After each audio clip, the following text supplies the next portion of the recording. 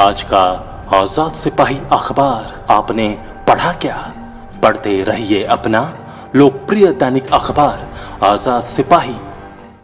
Budget में गरीबों पर करम, वित्त मंत्री को साढ़े नौ अंक। मोदी सरकार के दूसरे कार्यकाल के पहले बजट में अमीरों पर बोझ पड़ा। पेट्रोल, डीजल, सोना चांदी हुआ महँगा। आयकर स्लैब में कोई बदलाव नहीं। 45 लाख तक का घर खरीदने पर सरकार देगी साढ़े तीन लाख की छूट। नमस्कार, आज़ाद सिपाही के खबर विशेष में आपका स्वागत है। मैं हूँ राहुल सिंह। मोदी सरकार के दूसरे कार्यकाल का पहला बजट संसद में पेश कर दिया गया है। इसमें गरीबों पर तोहफे की बारिश की गई है, जबकि अमीरों पर बोझ बढ़ा दिया गया है। मध्यम वर्ग को भी कुछ राहत दी गई है। देश की पहली पूर्णकालिक महिला वित्त मंत्री निर्मला सीतारमण ने लोकसभा में मखमल के लाल कपड़े की पोटली खोलकर जैसे जैसे बजट भाषण आगे बढ़ाया देश का शेयर बाज़ार गिरता संभलता रहा। करीब सवा दो घंटे के बजट भाषण के दौरान निर्मला सीतारमण ने कई बार अपने शाराना अंदाज का परिचय दिया। तो नारी तू नारायणी का मंत्र भी दोहराया। बजट से उम्मीद लगाए मध्यम वर्ग को थोड़ी राहत ज़रूर दी गई है, लेकिन पेट्रोल, डीजल और सोना चांदी की कीमतों में बढ़ोतरी से यह वर्ग निराश भी है। महिला वित्त मंत्री ने महिलाओं को भी तोहफा दिया है, जबकि रेल यात्रियों पर बोझ नहीं डाला गया है। निर्मला सीतारमण द्वारा पेश बजट का आम भारतीय जनमानस पर क्या असर होगा? और इससे न्यू इंडिया के प्रधानमंत्री नरेंद्र मोदी के विजन को कितना बल मिलेगा? इसका आकलन करती आज़ाद सिपाही टीम की खास रिपोर्ट। देश की पहली पूर्णकालिक महिला वित्त मंत्री निर्मला सीतारमण शुक्रवार को जब संसद भवन पहुँची तो उनके हाथ में वह लाल ब्रीफकेस नहीं था, जो बजट के दिन वित्त मंत्री लेकर आते थे। ब्रीफकेस की जगह मखमल के लाल रंग के कपड़े का पैकेट वित्त मंत्री के हाथ में था, जिसे उन्होंने मीडिया को दिखाया। सदन की कार्यवाही शुरू होने के साथ ही उन्होंने पोटली खोली और देश के जमा खर्च का खाता बही पेश करने का सिलसिला शुरू किया।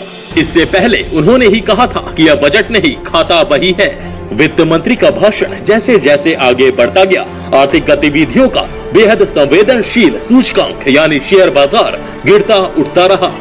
देश भर के लोग न्यू इंडिया के प्रधानमंत्री नरेंद्र मोदी के विजन को ज़मीन पर उतरने की उम्मीद लगाकर बैठे थे। वित्त मंत्री ने उन्हें निराश नहीं किया। उन्होंने अपने भाषण की शुरुआत में ही कहा था कि मोदी सरकार गाँव गरीब किसान और महिला युवा पर अधिक फोकस दे रही है। इसलिए अपने सवा दो घंटे के भाषण के दौरान उन्होंने गरीबों पर तोहफे की बारिश कर दी, जबकि अमीर की जेब पर शिकंजा थोड़ा और कस दिया। बजट में मध्यम वर्ग के लिए टैक्स स्लैब में कोई बदलाव नहीं किया गया है। हालाँकि उसके घर खरीदने के सपने को सरकार पूरा करेगी। घर खरीदने के लिए कर्ज पर मिलने वाली छूट को दो लाख से बढ़ाकर साढ़े तीन लाख कर दिया गया है। पेट्रोल, डीजल के दामों में इजाफा होगा, क्योंकि अब इस बार एक एक रुपए का सेस लगेगा। इसी तरह सोने पर लगे शुल्क को दस फ़ीसदी से बढ़ाकर बारह दशमलव पाँच फ़ीसदी कर दिया गया है। तंबाकू पर अतिरिक्त शुल्क लगाया गया है। बजट में ज़्यादा कमाई करने वालों को झटका दिया गया है। दो करोड़ तक के टैक्स लैब में बदलाव नहीं किया है, लेकिन सालाना दो से पाँच करोड़ रुपए कमाने वालों को तीन फ़ीसदी अतिरिक्त टैक्स देना पड़ेगा। वहीं पाँच करोड़ से ज़्यादा की कमाई वालों पर सात प्रतिशत अतिरिक्त टैक्स लगाया गया है। यदि कोई शख्स बैंक से एक साल में एक करोड़ से ज़्यादा की राशि निकालता है तो उसे दो फ़ीसदी का टीडीएस देना होगा। मतलब एक करोड़ से ज़्यादा की राशि निकालने पर आपके खाते से दो लाख टैक्स के तौर पर कट जाएँगे। वित्त मंत्री ने आयकर रिटर्न को लेकर बड़ा ऐलान किया है। उन्होंने कहा कि रिटर्न भरने के लिए अब पैन कार्ड ज़रूरी नहीं है। करदाता आधार कार्ड के ज़रिए भी टैक्स का भुगतान कर सकते हैं। वित्त मंत्री ने कहा कि भारतीय अर्थव्यवस्था इस वर्ष तीन खरब डॉलर की हो रही है। क्रय शक्ति की समानता के रूप में यह विश्व की तीसरी सबसे बड़ी अर्थव्यवस्था है। सरकार की अगले पाँच वर्षों में बुनियादी ढांचे में इच्छा 100 लाख करोड़ रुपए निवेश करना 2019-20 में एक लाख पाँच हज़ार करोड़ रुपए के विनिवेश लक्ष्य को बढ़ाना, क्रेडिट को बढ़ावा देने के लिए पीएसबी को सत्तर हज़ार करोड़ रुपए उपलब्ध कराने का प्रस्ताव, अंतिम पाँच वर्षों में खाद्य सुरक्षा बजट को दोगुना करना, दस हज़ार करोड़ रुपए के खर्च से विद्युत वाहनों को तेज़ी से अपनाना। अफ्रीका में 18 नए भारतीय दूतावास मिशन खोलना विश्व स्तरीय पर्यटन स्थलों में 17 महत्वपूर्ण पर्यटन स्थलों का विकास, तथा एक, दो, पाँच, दस और बीस रुपए के सिक्कों की नई श्रृंखला जारी करना, संसद में पेश केंद्रीय बजट 2019-20 की कुछ प्रमुख बातें रही। इस बजट की सबसे खास बात यह है कि वित्त मंत्री ने समाज के सभी वर्गों को छुआ सवा दो घंटे तक चले भाषण के दौरान एक बार भी ऐसा नहीं लगा कि वित्त मंत्री के रूप में उन्हें अभी महज एक महीने से कुछ अधिक ही हुए हैं उन्होंने साबित किया कि वह अपने पूर्ववर्तियों से किसी भी मायने में कम नहीं है और परंपराओं को तोड़ने से भी नहीं हिचकती हैं। एक रुपए से बीस रुपए तक के सिक्कों की नई सीरीज़ जारी करने की बात हो, या नारी तू नारायणी के सहारे महिलाओं के लिए रियायतों और सुविधाओं का प्रस्ताव हो, वित्त मंत्री कहीं भी नहीं अटकी। उनके भाषण के दौरान कम से कम 18 बार मेजे थपथपाई गई, जो इस बात का प्रमाण है कि यह वाकई न्यू इंडिया का बजट है। खुद प्रधानमंत्री नरेंद्र मोदी ने इतने शानदार बजट के लिए वित्त मंत्री को बधाई दी है और कहा है कि यह बजट नए भारत का निर्माण का मार्ग प्रशस्त करेगा।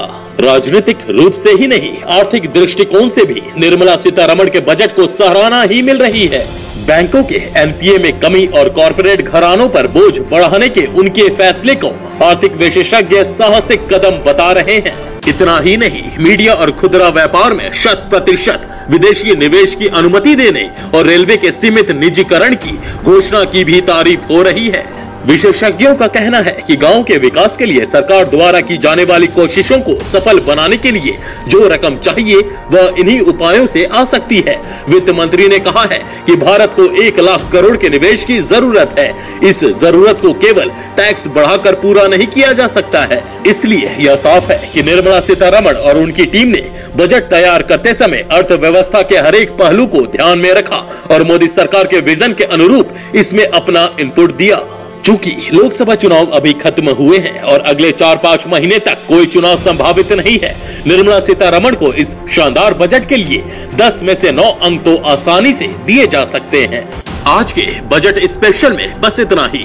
देश विदेश की तमाम बड़ी खबरों के लिए आप पढ़ते रहिए अपना लोकप्रिय दैनिक अखबार आज़ाद सिपाही। और हाँ आप हमारे इस यूट्यूब चैनल को सब्सक्राइब करना ना भूलें। जुड़े रहिए आज़ाद सिपाही के साथ। धन्यवाद।